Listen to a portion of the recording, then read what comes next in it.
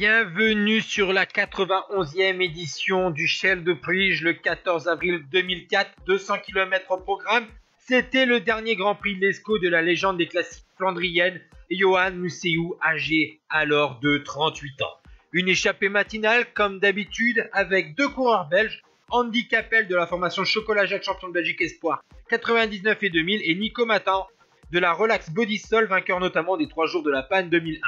Et on voit que Johan Mousseou, pour son dernier Grand Prix de l'ESCO, tente sa chance à 13 km de l'arrivée. Malheureusement pour lui ou heureusement pour Tom Bonnen, on arrive au sprint et c'est le sprinter belge de 23 ans qui s'impose de peu devant Robbie McEwen, vainqueur en 2002. Troisième place pour Simone Cadamuro.